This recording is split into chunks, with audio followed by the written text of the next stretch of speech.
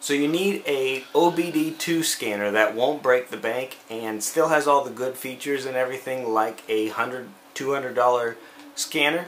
Well in this video we're going to go over the VXDAS OBD2 scanner and be able to see what's inside of it, see what features, and put it to the test.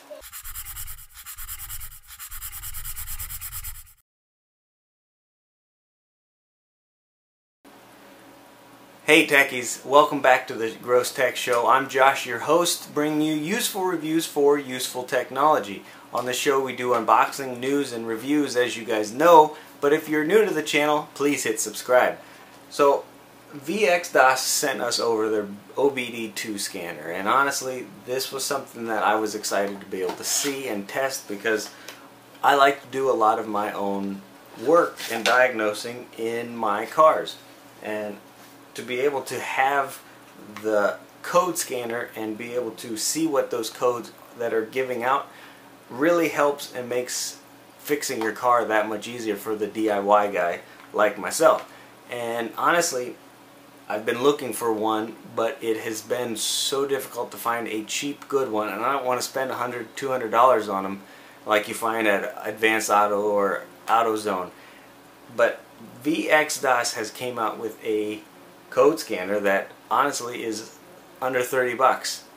And that link is down in the description. You can check it out on the website, see all the reviews and everything about it. But let's go out to the car and put it to the test and see what it actually does. Alright, so here we are. I'm sorry about the shaky hand and camera and stuff, but uh, I just wanted to show you one of the biggest things uh, I thought that they did amazing is they put a flashlight on the end of the actual connector and to be honest uh, when you need to find the where you plug because a lot of times it's underneath and to have that little uh, flashlight makes it so much easier. So I mean it's literally as easy as you find where your port is. Here's mine's on the side. Uh, it's daylight so I don't need the light. You plug it in and it turns on you don't need batteries in this, so you don't have to worry about replacing those. It's pulling juice from your your car. So you've got the OBD2 scan itself, the ready scan, your setup which you can go in and change your unit of measure, your language, if it beeps, that kind of stuff.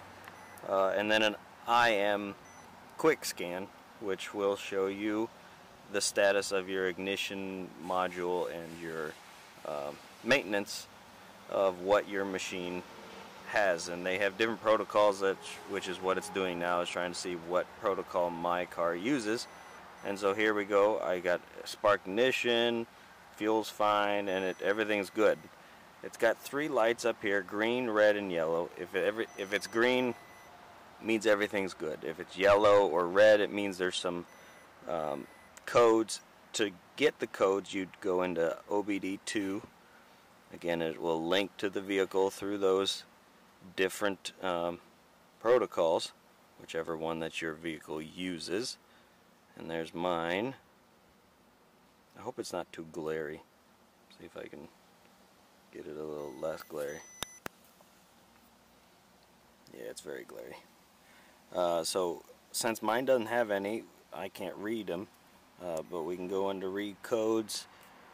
Store codes, there's none. Pending codes, there's none. So I don't have any there. You can go into your vehicle info. Uh, tells you to turn the key on. You can get your ID number, your calibration ID. You can get all your type of information on your vehicle from this. Uh, you can get live data, which is, I believe, gives me everything like your battery voltage, your fuel systems, spark voltage, short shifting, I believe is what that, I don't know, S, I don't know what each one of these does, but you, which OBD2 you have is OBD support. This does OBD2, like anything that is 1996 again and newer. Uh, and again, it's got everything that you need to be able to diagnose the codes that you get in your car by yourself. And honestly, that is the biggest thing for me is to be able to do that on your own without having to go somewhere and to not spend a hundred bucks on something.